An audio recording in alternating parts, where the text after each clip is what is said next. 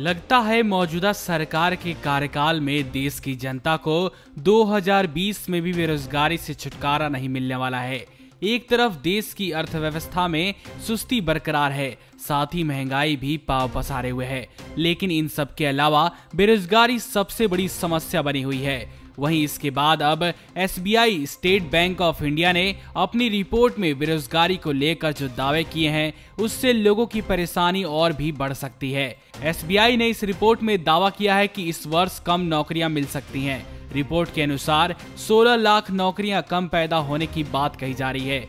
ये वैसी नौकरियाँ हैं जो पेरोल के आंकड़े पर आधारित होती हैं। रिसर्च नोट के अनुसार 2019 से 2020 में नए पेरोल के आधार पर 2018 की तुलना में 20 प्रतिशत नौकरियाँ कम हो सकती हैं। आपको बता दें कि ईपीएफओ सितंबर 2017 के बाद से संशोधित पे रोल डेटा जारी कर रहा है, जिसमें नौकरी छोड़ चुके और फिर से नौकरी ज्वाइन किए लोगों को शामिल किया गया है। द इकोनॉमिक टाइम्स की रिपोर्ट के अनुसार ईपीएफओ के आंकड़ों से पता चलता है कि वित्त वर्ष 2020 के लिए वार्षिक नए नामांकन 106.2 लाख करोड़ हो सकते हैं। वहीं एसबीआई की एक रिसर्च टीम बताती है कि नए पेरोल के आधार पर यह संख्या तिहत्तर दशमलव नौ लाख हो सकती है।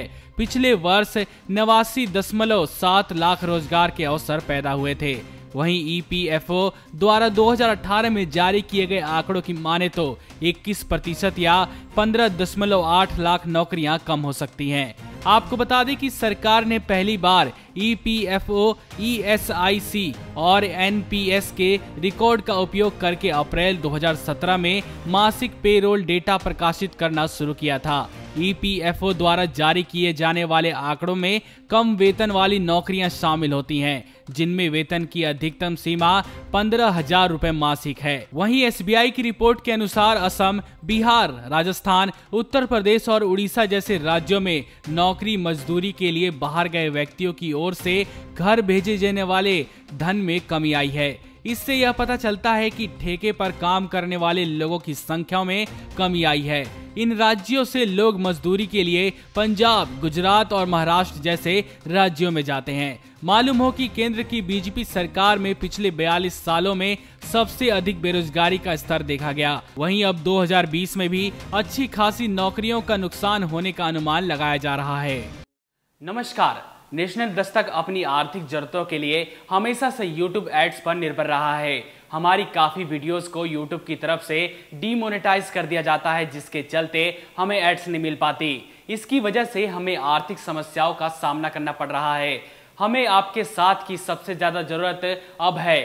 पैट्रियन एक ऐसा प्लेटफॉर्म है, जिस पर हम और आप बिना रुकावट जुड़ सकते हैं।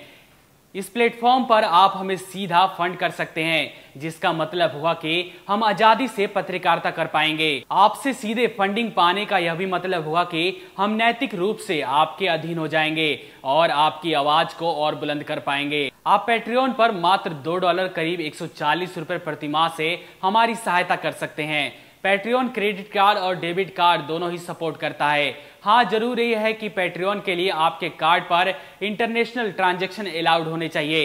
अगर आपके कार्ड पर इंटरनेशनल ट्रांजैक्शन चालू नहीं है तो आप अपने बैंक से संपर्क करके इसको आसानी से चालू करवा सकते हैं। पेट्रियन पेज का लिंक नीचे डिस्क्रिप्शन में दिया गया है।